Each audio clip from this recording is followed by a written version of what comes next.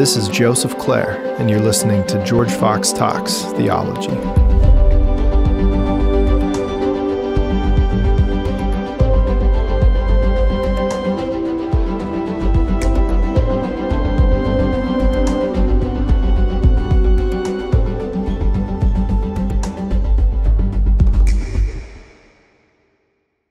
Hey, welcome, welcome everyone to George Fox Talks Theology. I'm your host, Joseph Clair, and it's a pleasure to be back with you today. It's a very special day. Very, very excited to guess who are our prayer pros. I have pros at prayer. Well, actually, I don't know if they, I don't know if they're good at praying, but they think they've thought about. I have a philosopher of prayer and a theologian of prayer. It's amazing gift. Uh, George Fox professor Isaac Choi, director of the honors program, professor of philosophy, here with us. A man who has studied at all the illustrious places from Harvard to Notre Dame and and been a gift to this community. Lindsey Hankins, brand new, fresh here, Mm-hmm. uh, professor of theology um, from Princeton Theological Seminary, Mm-hmm. both of whom have written about prayer from an academic perspective in philosophy and theology. And so we'll dive in to that. But really, this is a conversation about prayer. So let's begin here. I've been wanting to know this. In fact, I just thought of it as I was walking over. Is there anything that you shouldn't pray for as a Christian? Yeah. You know, I got into argument about this with someone. Um, I was at a different round table at one point, and I was talking about like, I think I said something about bad prayers, hmm. and this woman stopped me. She goes, "There are no bad prayers." And this idea, I think, what she's getting at is like, we should talk to God, and we can come to God with hmm. what we mm-hmm. really want to, we, we need, what we you know have in front of us, and what's on our heart. On the other hand, you know, I was just literally today in my ethics class, we're talking about this book by Lauren Winner where she talks about the dangers of Christian practice, hmm. and she has this chapter on prayer, and she goes to these journals of these antebellum South um, journals of these women. And this woman in there prays for perseverance to better beat her slave. Hmm. That's hmm. bad. And I think at some point Yikes. you can say that that's not a prayer, that that's just ill wishing, hmm. right? Like it's such a deformed ask that it just undercuts the definition of what we'd want to call prayer. So yeah, Unless, unless maybe she was having trouble persevering because she had moral qualms about the act, right? And then it's no, like- she wanted Oh, she- perseverance okay. so that she could. Oh, yeah, yeah. Okay. Yeah. which just oh man, It's the bad way. Is it's it? the it's what about the the, bad way. philosopher? They're bad Well, prayers. I, I mean, maybe I'm going to go biblical with this, right? You're because oh, because biblical. yeah, that's like the opposite card. direction, right? But like you know, James, right? He talks about Yes. like God doesn't hear your prayers because you want them to spend them on your selfish desires. Yeah. Right. So I think that would be very much aligned with the antebellum South example, Yeah. in which she wants this prayer to be answered just because her own, you know, ego in terms of her power Mm-hmm. over the slave, whatever it might be, as opposed to desiring something good from God, as opposed to, you know, what she wants, right? So I think even from the biblical witness, there's this Mm-hmm. idea that prayers that are motivated by a bad desire Right. are prayers that God will not answer. And there's also, you know, in James famously, there's this connection between faith and works, which, like, kind of the, I always call it like the mic drop moment. Uh, There's Gregory of Nyssa has a lot of mic drop moments, but one of his, he has this, um, he's giving a sermon on the Lord's Prayer, and he does this incredible thing where he is he's giving this homily right to his congregation. He's saying you're asking that god forgive your debtors but your debtor is in prison right now? And he's going on and on like you do you're asking for this but this is happening. You're asking for this but this is happening. And his mic drop ancient mic drop he says god can't hear your prayers because the cry of the one whose neck you're standing on is drowning it out. Mm-hmm. And this idea that like wow. Um, yes, like there's this the bad asking, Yeah. and then the, also like you ask uh, the context and the, the context of your life and the actions surrounding and the way that you've chosen to show and withhold the love around you, like that these things actually matter too. That there's a context for prayer. Yeah. I mean, absolutely. That reminds me of Isaiah, where it's like, you know, I can't even hear your prayers because of the bloodshed Yes, that's on your hands. exactly. I mean, It's very much this Yeah, yeah. biblical theme. But I think it's interesting because I think it's not just the objects that can sometimes be bad, like beating your slave, but even like the pastor who prays, God, let me preach like this powerful sermon. If it's asked out of like this desire for, you know, self glorification, Mm-hmm. as opposed to how can I best serve my flock? How can I best serve the kingdom of God? That too, I think God would not answer, even though that's a good thing, right? That a sermon is preached powerfully and well. But if it's motivated by this desire for the self, I think that also is along the same lines of what James says. God's not going to listen to that because it's not for something that is ultimately good, right? You're your intention is not for something that um, either honors God or loves others. It's purely self motivated. So God won't hear or can't hear or won't answer Hmm. misdirected or bad asks. Are there examples though? And I was trying to come up with one, but you know the Bible better than I do. I think Isaac. That's not are true. there no? Are there examples though where God begrudgingly or even like judgmentally does answer the bad ask uh, Hmm. or the selfish desire uh, prayer in the Bible or in Christian history? I'm trying to think of an example. The bad podcast question if everyone goes. I mean, silent. certainly in the among the ancient Greeks, the pagan Greeks, they thought, you know, it's like God's going to punish their gods are going to punish those that they hate by answering their bad prayers. Right. Right. So there's Yeah, this yeah. kind of like spitefulness among the kind of Olympian gods um, of Yeah. answered prayers being a punishment. But I, I don't know. Well, if we have this image in scripture, right, of like he- heaping coals, Ah. right? Uh, you know, I don't, I'm not. Nothing immediately comes to mind in the sense of God answering a bad prayer for the way that it would be like a, basically educational. Yeah, exactly. Here you go. but we also, want that? Yeah. you know, I think one of the least preached upon text ever has to be that Canaanite mother in Matthew 15, right? Hmm. Where she approaches Jesus and is like, please come help my daughter. And he ignores her. And then she's like, no, but seriously, please come help my daughter. And then he calls her a dog.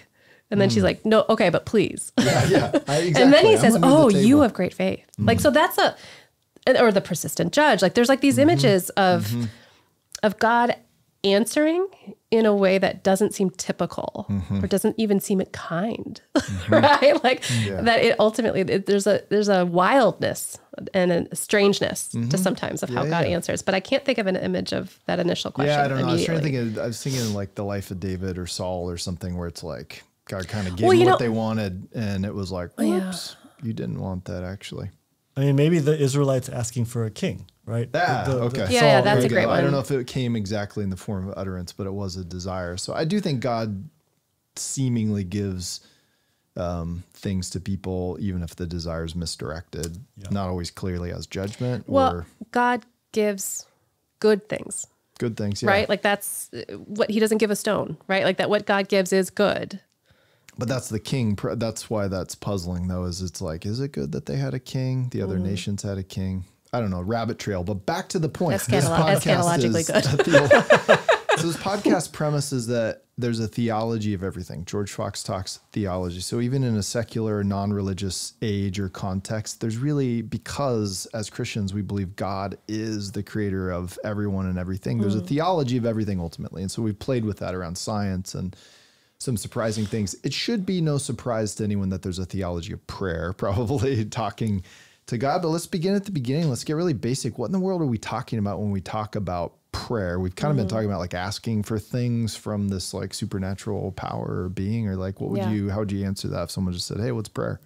Uh, well, I mean, I would I would characterize that as like conversing with God, like having a conversation with God, right? And and you know, in our conversations, we we have all kinds of different purposes in our conversations. Sometimes it's because you know I want to go to my boss and get a raise or something like that, and that's an ask, right? But sometimes it's like I have a Is conversation. that a are you specific? No, no, no. something I mean, now? it's Yeah, purely no, hypothetically. I'm just dropping exactly. In a different time, a in a different era. place, in a different exactly. context. But also other times we we just want to um, apologize. Maybe I want to you know have a conversation with, with with my wife because maybe I've slighted her in some way, and I want to apologize to her. Or, her. or maybe uh, I want to take someone out um, and celebrate some uh, a, a, a accomplishment or some way that. Um, uh, something that's good that's happened in their life, and so that I think we have many different kind of contexts and purposes for which we have conversations with other people. And I think in a similar way, like we can have prayers of petition or prayers of thanksgiving or prayers of confession.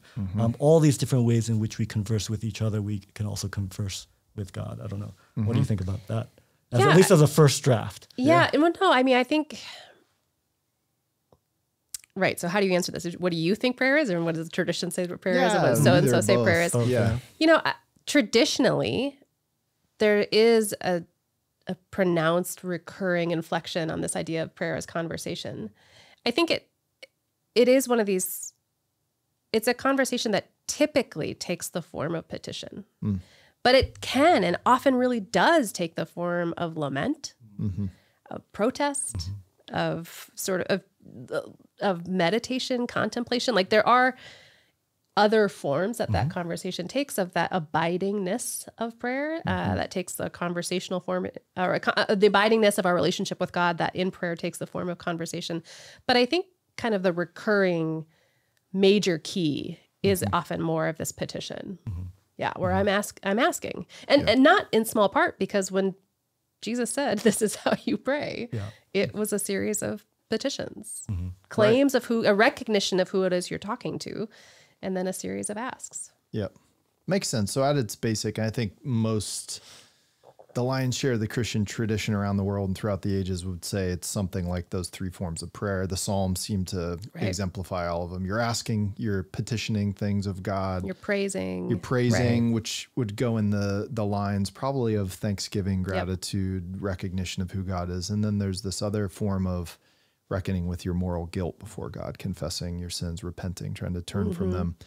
Um, but when you think of it in the popular imagination, as we sort of began, petition is really the mm. thing, right? You're mm-hmm. asking God for things, and I would I don't know what the percentage of biblical prayers ends up being petitions, but a lot of them, right? Use that's kind of unique to the Christian faith. It's very different than other world religious traditions where you're trying like to come to grips with this metaphysical reality which is in stoicism or buddhism um, there's there's something about this personal god in judaism and christianity in this personal god who interacts directly with humanity in like very specific ways and events and actions that makes christianity like feel really um, really oriented toward petitioning god for things. Right.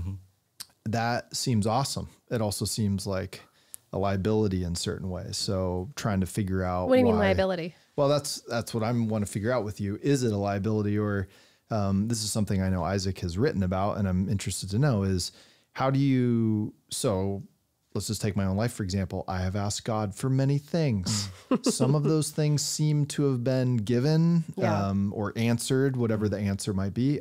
And many of them seem Right. to have gone unanswered or unnoticed or rejected, uh, you know, send Yeah. back, return to sender. I don't know. So what it's like a beautiful thing that you have a conversation with God, including expressing your desire and wishes and will for the world. But is it also like a weakness or a liability or a vulnerability for Christian faith? How do you answer that? I think there's definitely this uh, possibility of vulnerability because I've read many kind of uh, biographies of atheists who said, you know, I used to believe in God, but then I asked for this one big thing, hmm. like, you know, that my parents won't get divorced or, you know, something like that. Right. And they got divorced. And so that Yeah. made me realize God doesn't exist. And so therefore I rejected my childhood faith. And so hmm. I've seen that over and over again. So I think it is a liability in that sense that there's this possibility that we take a given unanswered prayer hmm. and we just say, okay, I'm going to throw it out the, all out the window.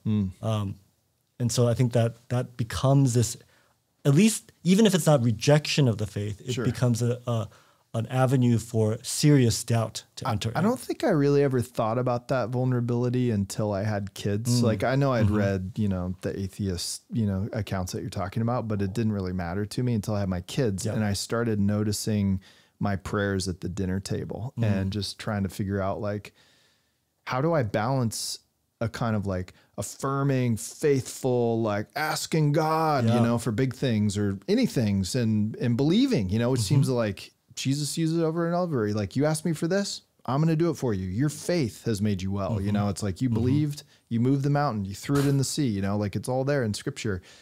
But I'm praying with my kids. I remember a few summers ago, we had this beloved friend and getting later in life and longing for a spouse. And we started praying every evening in this beautiful, connected way to this person. And I'm just like going through my mind, like month after month, being like, what about if this spouse doesn't materialize? You know, like what I don't that conversation with my kids. And of course, I'm I'm theological enough to know, well, that'll we'll get to that next phase of why God does and doesn't answer. But I'm also like, or we're praying for my wife's cousin who had cancer and believing, you know, and um, but I'm also like, shoot, I don't want to sh- set them up for a shipwreck later when these things like Yeah. don't get answered. So I don't know. How do you wrestle with that, Dr. Hankins? Well, you know, we shouldn't go too far without referencing C.S. Lewis, right? So, so Not on this podcast. not on this You podcast, not on my time. Perfect timing. No, so he, you know, he wrote this great book, um, Letters to Malcolm, chiefly on prayer. One thing to note about writing about prayer, which is something maybe we should have taken more seriously, is that the people who do it best usually right at the end of their lives, um, which is something I knew on the front end, but still, you know, moved ahead. But Lewis picked up, he started writing this book on prayer and put it down. Mm. And it actually is at one mm. of his final written works. He mm. picked up at the very end of his life. It's one of his most mature writings.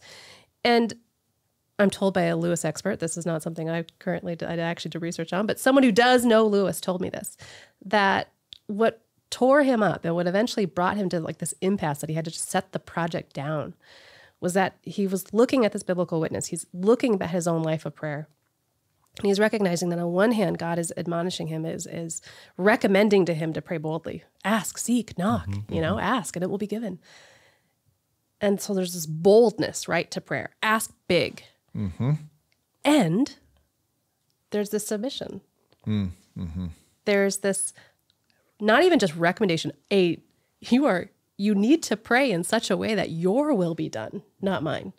So how on earth is it that you pray both mm. boldly mm-hmm. and with wild submission at the same time and not be a liar on one of those ends? Yeah. And it just tore Lewis up. And so he ended up having to, he just set it down, did his other great work, mm-hmm. came back to it later in life. And, you know, I'll go read the book to find his answer. But uh, I, there's, mm-hmm. prayer is like so many other basics of the Christian faith in the sense that it is wildly simple and easy. Mm-hmm. My four year old really does pray Yeah. Mm-hmm. and they're beautiful. They're weird, mm-hmm. but they're beautiful. And prayer is something that the greatest minds, the greatest people of faith will struggle their entire lives with and mm. will never know the depths of in their practices. So uh, I don't, I'm like nervous to resolve it, but I, you know, there's this, my, my own background with prayer is I spent a lot of time with Thomas Aquinas on the topic mm-hmm, mm-hmm. Great medieval theologian. the great Christian medieval tradition, theologian. Thomas Aquinas. Um, and he, one of the things I like most about Thomas is how generous he is with the people he likes to talk with. Mm. And so he's drawing on Augustine, he's drawing on all these folks to try to think about prayer. And he gets to this prayer in Gethsemane of Jesus, this take this cup from me. Mm, mm-hmm. And I think the worst way of looking at that scene in scripture mm-hmm. is to think mm-hmm. that like Jesus didn't really mean it. Mm-hmm. That he's like putting on the show for us of like, mm. you want to know what holiness looks like? Check this out. you know, like that he's like putting on this great pantomime of what it means to be human. Mm. And Thomas has this kind of, you know, wild for him take on it, which is that that Christ prayed out of his he says in his Thomas's world out of his sensuality when he prayed. That he mm-hmm. really he meant it when he said, "Take this cup from me." Mm-hmm. He offered up the desires he actually had. I don't want to be tortured mm-hmm. and abused. Take this cup from me, please. That that wasn't a, a show, that was real. But not only did he offer up his actual desires as they stand, mm. he also offered up his entire will.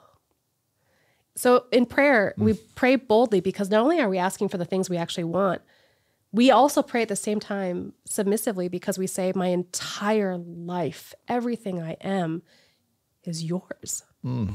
And so you get to actually do both, but it takes a lot of practice to be able to do both of those up and mm. running. And, and on mm-hmm. any given day, you know, depending on how hungry I am, mm-hmm. depending on how other things are going, I may not be able to manage both. But that's the mm-hmm. that's the hope, right? Is that you be able to do Doing that. yeah, mm-hmm. Mm-hmm. Not just the desire, but the will itself. yeah. Wow.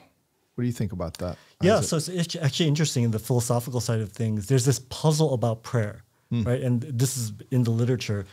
If God knows better than all of us what's best for us, why are we actually even asking Him for anything, right? If I mm-hmm. say, Yeah. I want this job, Lord, please give me this job, or um, please give this person a spouse or something like that.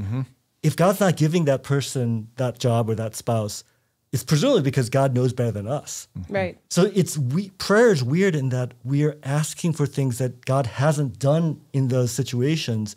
And you would think that if those things that we're asking for are actually the best, then God would have already done those mm-hmm. things. Right? So there's this big puzzle there, right? Mm-hmm. So you might think that God should not answer almost any of our prayers because he'll always know better than us. Hmm. Right? So this is a philosophical puzzle, right? And a theological puzzle too. But I think what's really interesting is that um, I think we all have those examples in our lives, or maybe not all of us, but at least I have certain examples in my life when I think about their prayers. Their their prayers are super powerful and effective, right? Whatever they pray for, almost it always happens, right? And it's I don't think it's because God loves them or anything like that.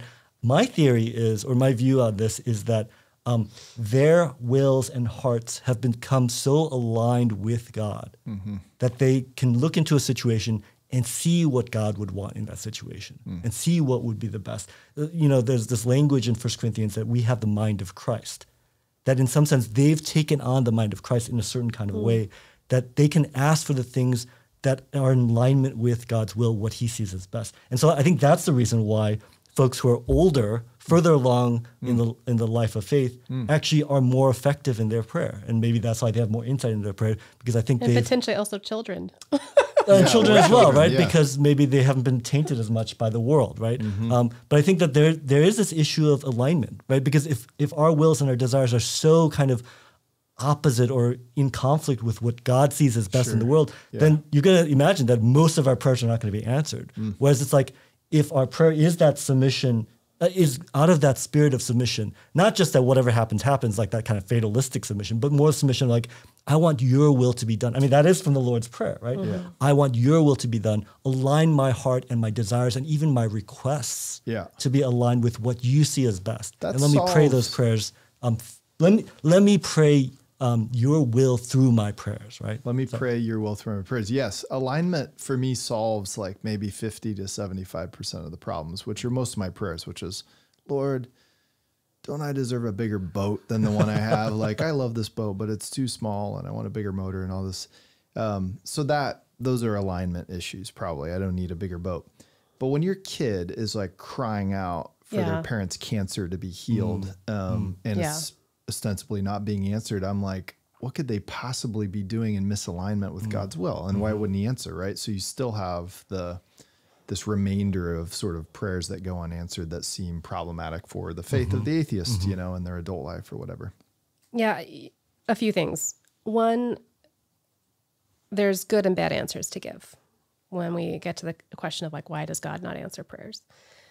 Sometimes it's because you're just asking for stupid and bad things, right? Mm-hmm. Like that's pretty simple. That dispenses with a decent amount. Sometimes you're asking for really good things, but it's just not the time, mm-hmm. right? And if God, God actually, if God is God, mm-hmm. then He would know the right timing of a given good, right? So you know, hey, not it's not a bad thing, but it's not the right time. Those are kind of easier answers, right? The harder ones, well, one is one is this, and this is something I, I've I've talked to students about um, in the past, is to say one bad answer that I think we need to get away from pretty quickly is this idea that I, I, I hear really commonly in Christian circles with this idea of like everything happens for a reason. Why didn't God answer that? Because everything happens for a reason. He just, it's like this, it's generally meant to be comforting. Like God's in control. He hasn't forgotten about you. Everything happens for a reason. It's really dangerous though. It's really dangerous because there is a phenomenally important distinction between it's inconvenient that this thing didn't happen and I wanted it to, and that it is unjust. It is horrific mm-hmm. that this thing happened. Everything can't happen for a reason. Because some things are damnable, because some things are horrible, because the problem of evil in the end really is a problem. Mm-hmm. Because some things are just things that God will say in the end of times I, I damn like this it's damnable that was a mm-hmm. horrible thing. So some things ha- sometimes god doesn't answer prayers and we really don't have an answer for that mm-hmm. period. And sometimes so that's just and that's actually a decent category mm-hmm. right? Like why are there children in cages? Why are there children washing up on shores? The, the silence that's the response. Mm. Silence and yeah um, lamentation. But but one of the things that has been really moving to me, Thomas again, a little bit of Augustine in there. Augustine actually has this great sermon, Yes, he does. right? Do you know this one I'm talking no, about? No, but they're all great. They're all great. Yeah. This is on First John, and he's talking about this. He's talking about why we persist in prayer, Mm-hmm. and which we're told everywhere to do throughout Scripture, right? Seems like you know un- repetition is like the ancient world's way of mm. underlining. so if it happens all the time in Scripture, probably a good thing to pay attention. So why persevere? Why Augustine says because the longing, the prolonged longing, he says, mm-hmm. it's like our hearts are like wineskins and they get stretched mm-hmm. in that longing, in that persistent longing, such that we actually have a capacity for love mm-hmm. that we didn't have before. So, why does God delay Some, why does he not answer? Mm. Because he's delaying. Because he's actually, and it's horrible and annoying, but he's breaking you into this new creation. He's hmm. stretching your heart. He's stretching your passions so that you mm-hmm. can actually, honestly, you have the capacity for love that he has next for you. I mean, I, mm-hmm. why does God delay sometimes? For that reason, He has more in store for you than you can han- than you can handle right now. Yeah. No, it's be- the soul stretching elements of prayer or delayed uh, response from God are. Um, I love that image. But of I do the think- stretched wineskin. It- it's just uh, in life. Wisdom as a theologian is knowing that you can't pull the mystery card too quickly, but that sometimes you need to. Yeah, absolutely. Right? Like that. Why doesn't God answer? Because silence. Silence. I wonder though. I mean, those issues you're bringing up that are damnable and just the horrendous. It's like Brothers Karamazov, Ivan, Grand Inquisitor kind of stuff of um, children being abused and beaten. It just seems to be the one that just strikes the like chord of chords of like what in the world got. So not only you don't even need to be a prayer or a religious person to be mad about that. Even if you just think there's a God and you think that's being allowed to happen, it just seems like it's doubled down on. He's not only allowing it, but people are like directly pleading with him to make it stop, and he's not acting. This does get into really big questions about God's activity in the world and predestining events or allowing evil to happen, and, and that touches on prayer big time. I don't know, mm-hmm. Isaac, if you have a thought on that. Yeah, I mean, I think this is where um, this question of prayer and unanswered prayer becomes just one subsection of the problem of evil, mm-hmm. Mm-hmm. you know, which is this massive, huge theological, philosophical topic. And so,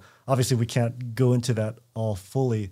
And it's interesting because I, I have colleagues in philosophy who actually reject the whole idea of petitionary prayer because they think it Yeah. makes the problem of evil worse, mm-hmm. right? Because if God answers certain prayers, And but not then doesn't answer in these horrific Right. situations, that just makes it worse. Whereas if you say God's just going to be a deistic God, he's just kind of watching us from a distance, and then it's like that's his policy, and he's just not going to answer any prayers. Whereas you know, if you if you start saying, "Oh, God answers certain prayers, but not other ones," that's like, "Why, God? Why?" Right? That I think that that the cry of our hearts comes forward. Um, but I do think that as a Christian, like the consistent biblical witness is, yes, God does answer prayers. He actually does answer some of them, at the same time holding that he does allow horrific evil in the world, right?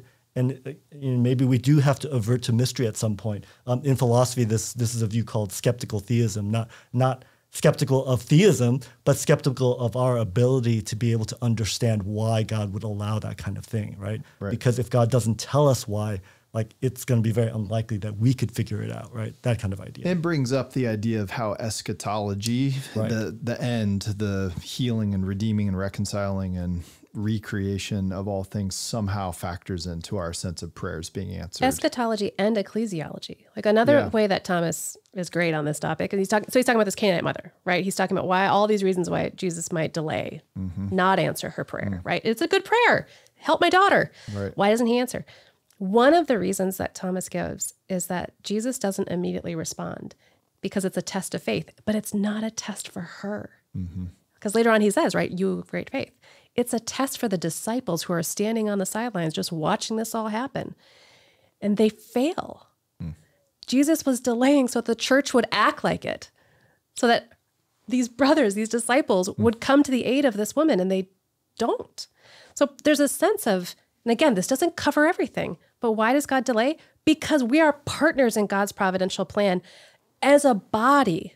And there are things that Joseph can do for me, that Isaac can do for me. I don't need to ask God for this help because you guys could provide it. Mm-hmm. And you just need to show up, right? Like this is part of what it means to be the body is to be people who are actually the hands and feet of Jesus Christ. Mm. So we can and should ask for big and bad and bold things, not mm-hmm. bad, big and bold things from God. But we also need to fundamentally ask each other. Like that petition mm-hmm. works on this plane too. Yeah. Wow. No, exactly. I think the sense in which God will ultimately answer some of these prayers, but not in this life, um, or He is answering them maybe through the means of other people and community, through the body of Christ, through the church. Um, Brothers Karamazov, Dostoevsky thought more deeply about this than I think anyone else, um, or as deeply as anyone else, and it seems like the conclusion um, to this question. Maybe not so much about prayer, but just the existence of the pro- of evil in really like horrendous cases, damnable things, children suffering.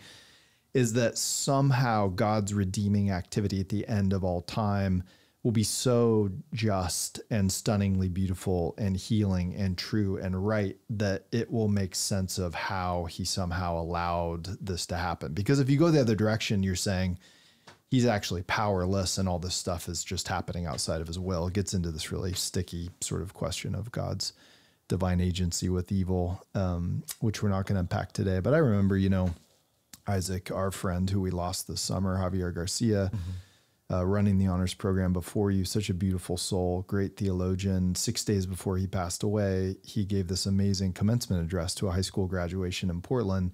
And he just said the good life is um, uh, to learn well, uh, to love well, to suffer well. And it was that vision um, of of Dostoevsky and somehow God being with us in yeah. the suffering and the incarnation, the crucified God, you know, which his uh, Javier's theological hero Bonhoeffer made a great deal of in his own suffering. Um, that that that is the mystery, and I think back to Augustine. Um, so Augustine calls the body of when he when he speaks of the body of Christ in his sermons, especially in the Psalms, he speaks of the whole Christ, the totus Christus in Latin. And so he says, if you're ever talking about the body of Christ, you're talking about the head who's mm-hmm. in heaven, ascended, mm-hmm. sitting at the right hand of the Father, praying for us but you're also talking about the body, which in his trans-temporal kind of time meets eternity way is like us down here in the flesh, still somehow on the cross. So he almost sees like the crucifixion, the resurrection, the ascension as in this like simultaneity somehow in the eternally places. So we're kind of down here still feeling like we're on the cross, even though the head's in glory. And it's in that tension that we are still living out the Garden of Gethsemane prayer in Augustine's mind. So he actually thinks, like, to your point, that was actually, you helped me understand. I don't think I ever understood what he was saying, but he's saying Christ so united the human and divine natures in one person. When he cried out in the Garden of Eden, let this cup pass from me. Garden of Golgotha. Garden of different garden. Yeah, oh, yeah. Outside the flaming swords, Gethsemane. Yeah, Gethsemane. So when he cries out, "Let this cup pass, take this cup from me," that's the true cry of his yeah. human nature, the human nature in all of us, which is to avoid evil and suffering and to pursue happiness and goodness and flourishing and well-being, not being crucified on a cross, right? And so yeah, if you have a choice, I'd rather not be crucified on a not. cross. Exactly but taking that desire and submitting it to God in a way no other human being could. And so this is where Augustine would even distinguish him from any other human, including Mary, of like he was able to submit the human will to God when he said, Yet not my will be done, but your will.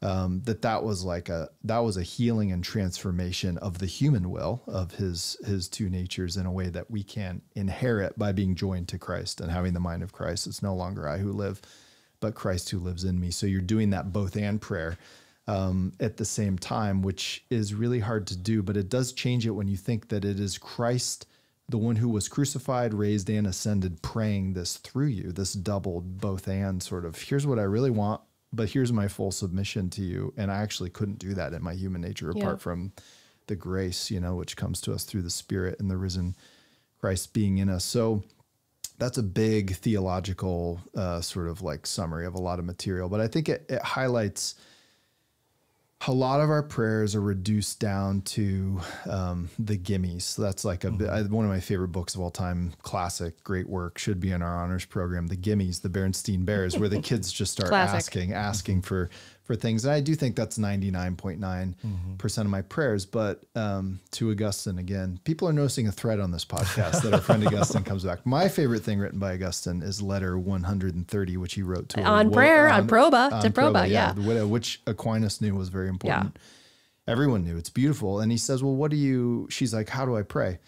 He's like, well, first you got to think about what you're praying for. And he said, let me assure you, this is basically what every human beings pray for all the elements and ingredients that lead to a happy life, a flourishing yeah. life. Like you want things to go well for your two kids, Isaac, and your two kids, and you want things to go well in the world and for others. You don't want sickness, you want health, you don't want pain, you want, uh, you know, just like go down the list of mm-hmm. what you think makes for happy, enjoyable, flourishing, going well life. And that's what you're asking for.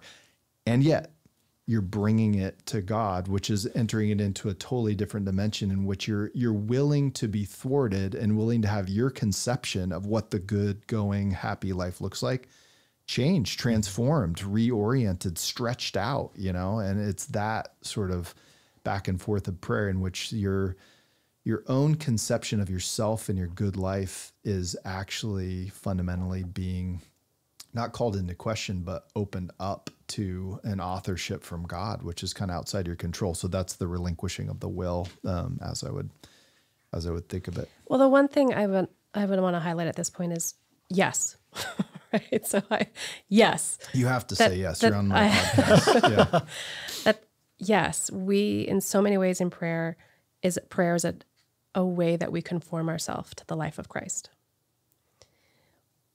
Another way, a really important corrective, or maybe not even corrective, but an additional vantage on that, is that there are some of us who have to seek a kind of good suffering hmm. so that we can be conformed to the image of Christ, and prayer is a vehicle for that. And there are some of us who have been put in positions of great suffering, and we just are the face of Christ. Hmm. Right? That there's so much, there is this sh- crazy image in Matthew 25 of, right, like, you want to know where I am? I'm in the poor. Hmm. I'm in the people in prison. Did you come visit me? I'm the naked. Did you clothe me? You want to see my face? I'm that hungry person in front of you. Hmm. Those who are crying out, not because they're looking to be conformed to Christ, but because something about their situation mm-hmm. is the un, the injustice of their situation is such that they are crucified Christs, Mm. right? That there's also something about those prayers that we mm. need to hear, right? That the, of the prayers that come when you don't seek out suffering, but it's already found you, mm. and a suffering that is unjust, right? That th- those are that's a different kind of form of. I fundamentally orientate. I, I am I am in this picture that you just painted, because in general, Mm-hmm. there's actually quite a bit of promise in my life, and I need to work against how easy some elements of my life are, so that I can find the face of Christ. Mm-hmm. And there are too many people for too long. That's just not a possibility. Mm-hmm. And they also have a lot to teach us about prayer. No,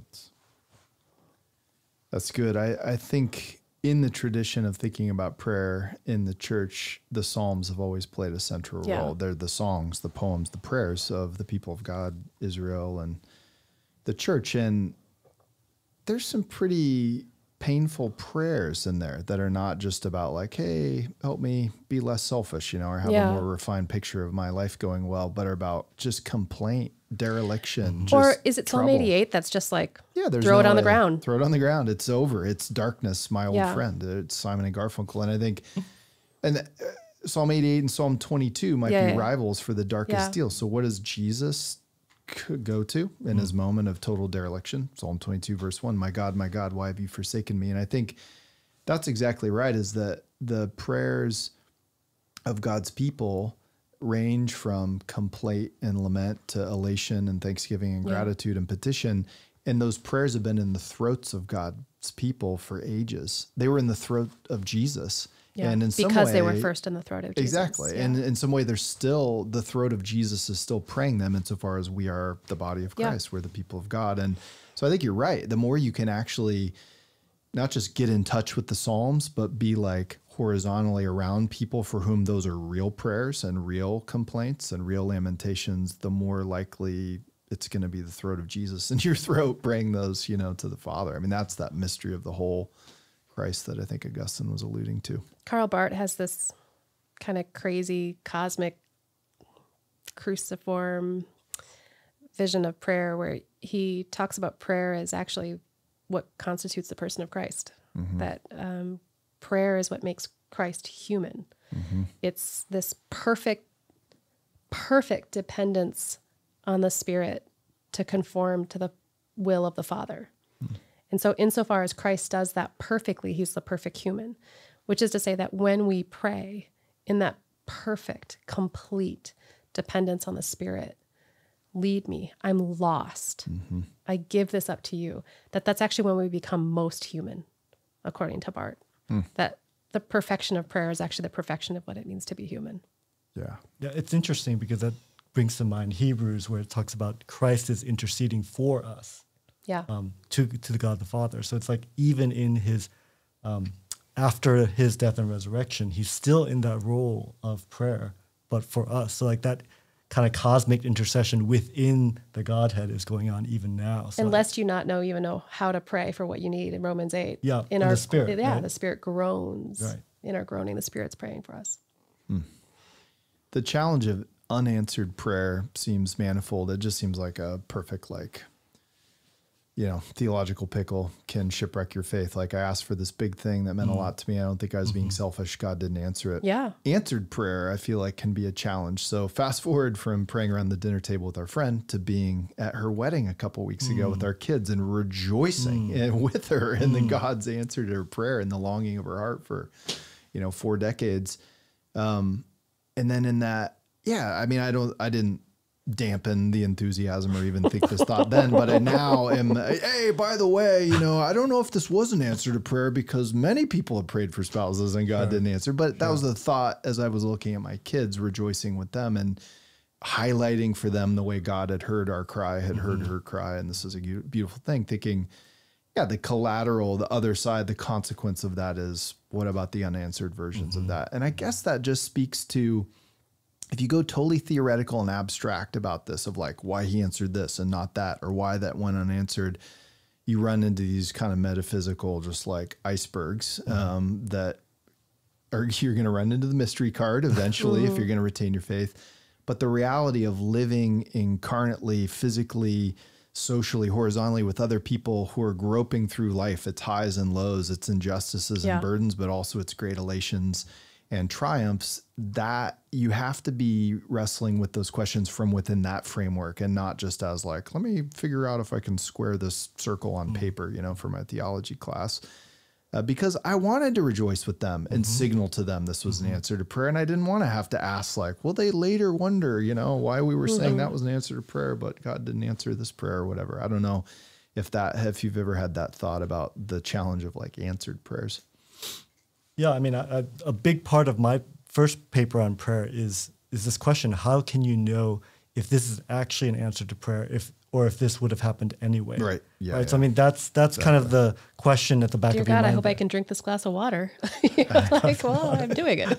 yeah, yeah, yeah. Um, and so, I mean, there, there are lots of puzzles here, but I do think that in certain cases, it's so clear that it is an answer to prayer, right? If it's something that you wouldn't expect in the normal course of things, like so, I give an example my in my paper about how um, my friend. Um, she was a pastor's wife, had four young children, and she had this whole year in which she was so fatigued she couldn't even get out of bed uh, and all these doctors couldn't figure it out. Eventually, um, they did an MRI on her brain, and they found that there was this tumor in the middle of her brain. And the doctor said, "We don't even know if we could do anything about it. That it may be inoperable, right?" And so she sent out this e- blast email to everyone, her entire church, everyone across the country. And so we we're just, you know, fervently praying for her. And within a few weeks, they did a follow up MRI um, and found that, in fact, there was no tumor there left, and it was just a hole of fluid. And the doctors were like, "We didn't even start treatment. We have no explanation for the, for how this happened." And so, of course, my friend and uh, her husband they looked at each other and it's like, "This is clearly God's answer to prayer." So I think in those kinds of cases in which it seems like a miracle has happened, like the doctors have no idea what happened, that seems like a really good candidate for an mm-hmm. answer to prayer. But but I I, I do I, I would grant that like for someone finding a, a, Sure. a spouse, Yeah. that happens fairly often. right? eHarmony Yeah, exactly. day. So Yeah, it's not exactly. something that would be as blatant, right? I mean, the the, the thing that my mind goes to is you're like saying. Elijah Yeah. on Mount Carmel, right? Right. That seems like such a you know he's like okay whoever's God is the real God let let him answer by Let's test fire it. right Yeah. and it's like it's such a dramatic miraculous kind of event that it's, it's the people have no question they're like oh no Yahweh he's he is God right um, and so but I think in the more everyday quotidian type of Hmm. prayers sometimes it is hard to like you know these this is like the most most you know quotidian it's like if you get, ask God um, you're in, you're in Manhattan or something like that and you're praying for a parking spot or something Like, and you find one. It's like, okay, would that have happened anyway, or is that God answering the prayer or something like that? So I think there is there is a real question there. But I think in certain other situations, um, it seems so clear Mm-hmm. based on how unlikely it would be, or the timing of it, or something like that. Yeah. Like I've had situations in my life where I'm like, you know, God answers a prayer. I'm just like, wow, God is real. Mm-hmm. It's like such a dramatic kind of thing. But other times you're right. I think it's sometimes a little bit more difficult to discern. Mm, I think finding a parking spot in Manhattan was the most miraculous thing that you just mentioned. But Do you guys know this SNL skit? Do you guys watch SNL? There's this old one with Sally Field, and I think it's Phil Hartman is Jesus. I mean, Phil Hartman should be Jesus. Like he's just like such a great voice. But there's this uh, SNL skit where Sally Field is like, you know, this mother at home. The kids are off to school, and she's like, "Dear Jesus, oh Jesus, I hope that the, like she's made all these ridiculous asks like."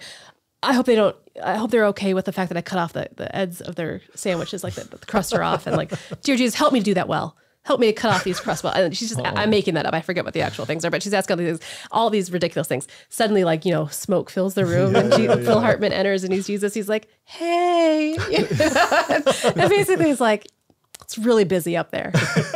and it's just like you're just asking a lot of really a lot of not so great things. Um, uh, uh, listen, sometimes wisdom, wisdom can sound like evasion. I, one of the things I think you're getting at is this idea of like, well, why pray? Like at some level, we pray because I want something, I need something, I can't procure, I can't get it myself, so I'm going to ask someone who can. Right? That's if we're getting back to like this really base vision of prayer as petition. That's why. Why did you Yeah, pray? yeah. Because you needed something and you can't get it for yourself. right.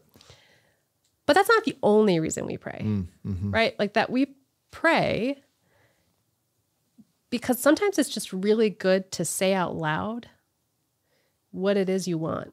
Mm. And by saying that out loud and putting that before the face of God, you get to see it through his eyes, at best case scenario, right? Mm-hmm. Like, oh, you know what? I really want that, but it's not, it's kind of an ugly thing. Or I really want that and it's really tender and good. And I'm mm. not convinced you're going to give it to me, mm. but I will practice this crazy hope mm.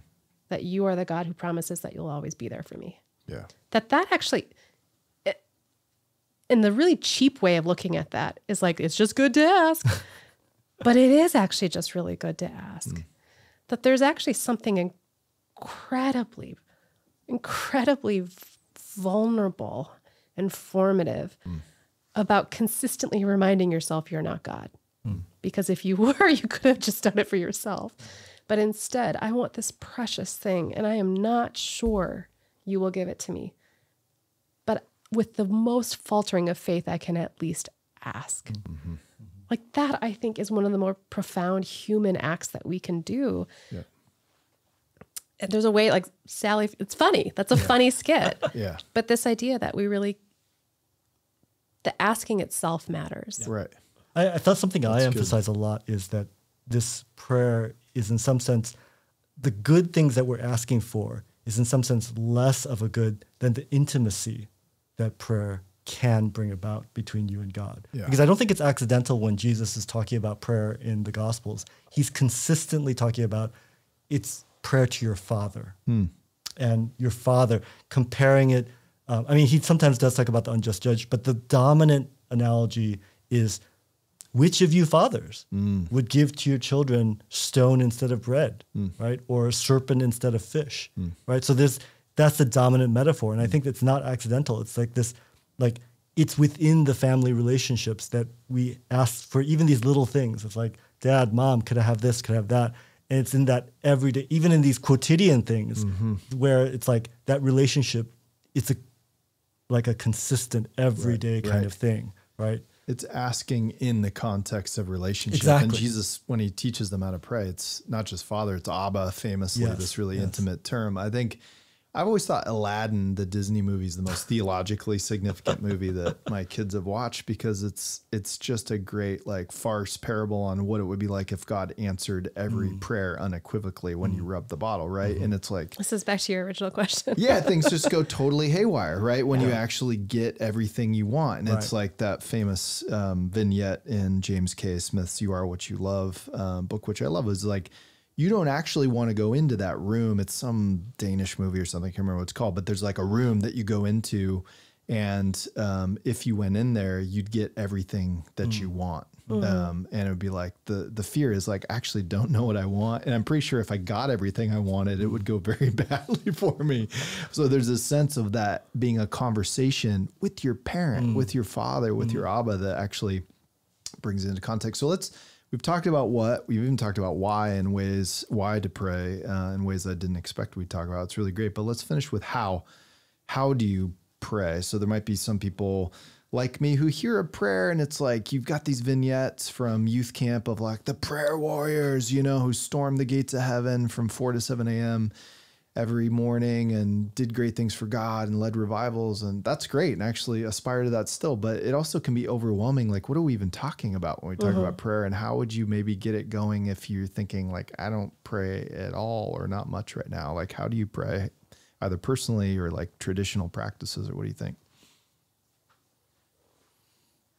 Well, I, I think it's. Um, I think I, I talked a little bit about intimacy and relationship, mm-hmm. right? And like I think the idea is that it should be something that's regular as opposed to trying to go for the marathon sessions, mm. right? So I think it's far better to pray every day like five minutes than it is to pray like two hours on one day and not talk to God at all for like months, mm. right? Because I think that that's I mean, it's just like physical training. You want to have a consistency to it. So, that, um, so even if you start out small, it's something that be- becomes part of your everyday kind of life.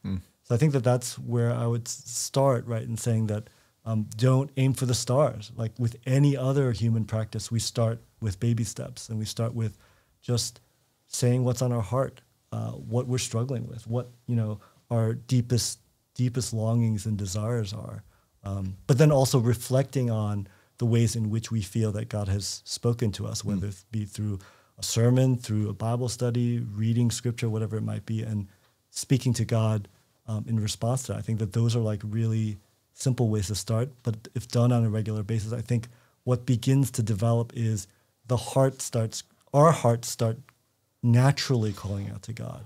Uh, in the in a similar way that um, for people who are married, when something significant happens in our lives, almost the first person we want to talk to is our spouse, right? That evening or something like that, saying, "Honey, this happened." I mean, whether it be big or small, it becomes almost like this habitual kind of like, "I want to talk to her about this. Well, let's discuss this. Or I want to share this news with her, or something like that, right?" And I think that.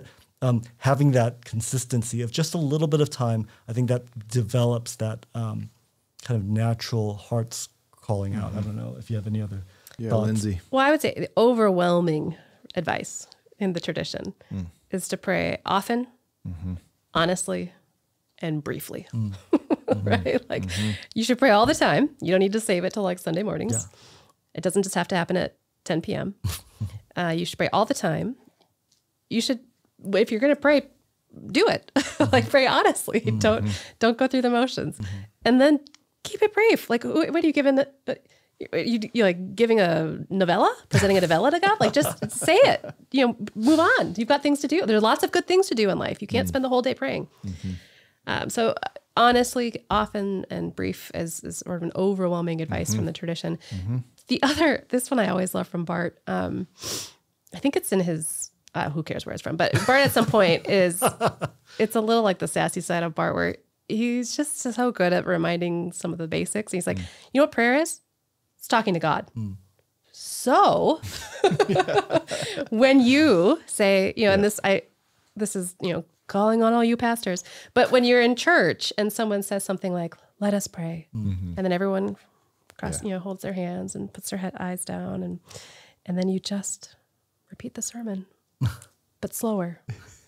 And in a way that reminds all of us to do what I just said. Like what you've done Ouch. is just deliver a sermon Right, with yeah. your eyes sermon. closed It's a very instructive quietly. sermon. well, no, exactly, yeah, it's yeah. it's not a prayer right. No, because you weren't talking to God. it's a recapitulation. yeah, It's like if you yeah. if you are if you want to pray, then make sure you're talking to God. yeah. And I think that's Mm. actually just that can be like severe news maybe for some folks, but it also is really good news. So if you feel this pressure to do this performative Mm. Kind of praying, like, oh, so and so's a really good prayer, I better sound like them. No. All you are tasked to do Mm. is pray to God. Hmm. So don't talk to that, you know, person in the corner. Don't talk to a spiritual leader in the room. You're talking to God. Hmm. And I would hope depending on your experience of that God, that that's actually really freeing mm-hmm. instead of being terrifying. Yeah. Yeah. Wow. I think it resonates with Jesus's thinking about prayer in the Sermon on the Mount, right? Where it's like the religious people are Right. really good at super long prayers and out in public spaces. Yeah, who are you talking to? Yeah, exactly. Yeah. But he's keep it simple, keep it brief. Here's how to pray the Lord's Prayer, our Father who art in heaven. And he says, go in your closet. There's a kind of privacy, and that's that element of intimacy. I love that pray without ceasing. Um, there's often it's honest, it's brief. Um, I love their brother Lawrence wrote that little practicing the Yeah. presence of God book, which seems to resonate, Isaac, with what you're saying. If you have your short, pithy, but devoted time given mm. to talk to God, ideally at the beginning of your day, it sets you on a trajectory to be in conversation with mm-hmm. Him, where it becomes that sort of like second self consciousness, where it's you're just talking to God throughout the day. And Anne Lamott, one of my favorite authors, her little book on prayer is simply titled "Help." Thanks. Wow. Yeah. She mm-hmm. says, like, mm-hmm. I don't know that much about God or that much about prayer, but I feel like keeping it brief, keeping it simple, keeping it hmm. direct. And there's three kinds of prayer there the prayer of help, the prayer of thanks, and the prayer of wow. That actually helped me too, is the help prayers make a lot of sense, but the ask, the gimme prayers, um, yeah, you have to think through what you're always asking for. And yet, like you said, there's a childlikeness to saying something to God and putting it out loud that helps you maybe even see it from a different perspective. Okay. So there's a lot of reasons to pray. We now know what prayer is, why we should pray, how we might do mm. it, talk to God. Let's finish on this little zinger. What's the biggest thing you've ever prayed for? The biggest thing The I've ever biggest prayed thing. for. Biggest.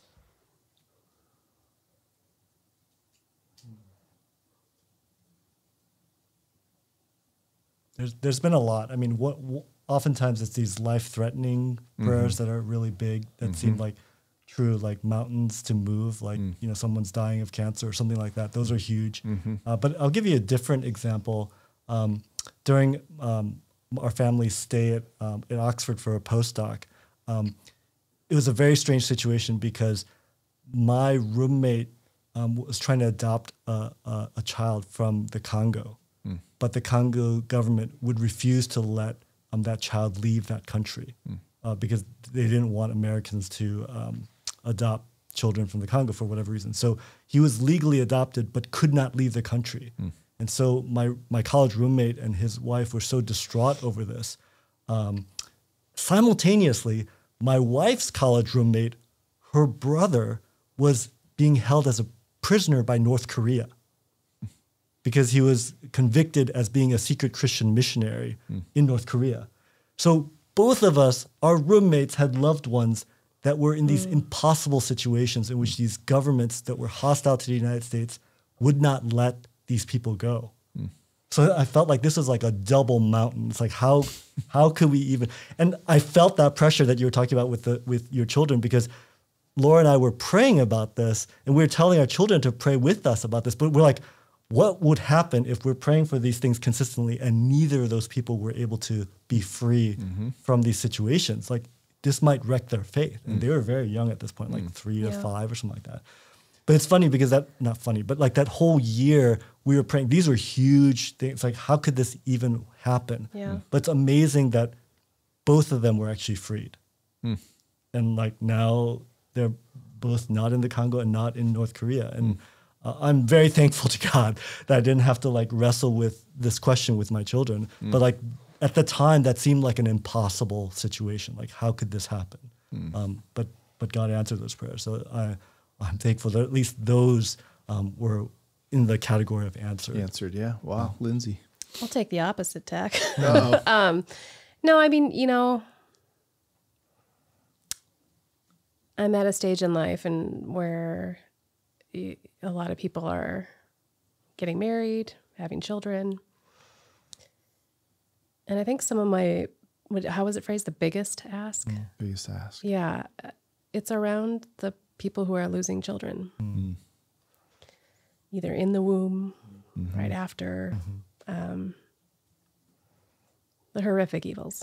Yeah. You know, The deep and you know, in that sense, largely unanswered, right, or not the way I wanted. mm-hmm Well, since you asked, I'll say mine. Um, no, I, I was thinking about this this morning. We had our little guy, Wes, our trailer, our fourth kid, who's now two and a half. When he was six months old, he had this very weird cough uh, that he had to go to urgent care and then ER and get steroided up. And it was super scary. It was some respiratory virus. Um, and we came out of it and we're just like, oh, thank God. And we kind of had that like letdown on a Friday night after Nora had spent the night in ER. And, um, and then it was like, we're just sitting around the table doing pizza, getting ready for a Disney movie and just feeling really grateful. And he stops breathing at the table. And first and only time I ever called 911. And you kind of go into like an altered state of consciousness. I don't really remember it. I know I was crying out. I know I was saying help at least and was just like on the brink of doing the high speed chase to the ER because the ambulance was taking too long. And then they got there and he gasped, and it was an answer to prayer. Maybe it was physiologically going to happen anyway. I'll never know. You know, I'm happy to give thanks to God, but I do think that that was a foxhole prayer, you know, but I do think there's something about that kind of primal honesty, which is it's beyond prayer. It's the cry for life. It's the cry for life over death, for well-being over sickness and evil, and I, that's that's bringing yourself to God. And I think we're doing it more often than we know. And I think what you said, Lindsey, just as something I'm going to hang on to is it's a both and ask on God's part for us in prayer. It is a bold, reckless cry uh, for things to go well, for the desires of our heart to be delivered from evil um, and to be forgiven and to forgive others. It also is simultaneously, and this doesn't diminish, it's not like a caveat, it's a simultaneous submission to God's will above our own. And I don't actually think we'll unwrap the mystery of how his will was being worked out in our lives or over time in history until we get there. And so that is the the mystery card, but played in the right way at the right time, it can actually help your faith, I think, and maybe your prayer life. So thank you guys so much today. It's been a great conversation. I hope everyone enjoyed it as much as I did. See you next time. This has been a production of George Fox Digital. If you like what you're hearing, subscribe to the George Fox Talks podcast on Apple, Spotify, or wherever you stream things on your phone or computer. Check us out on the web at georgefox.edu slash talks, where we have videos, publications, and more. And we're also on YouTube at youtube.com slash georgefoxtalks.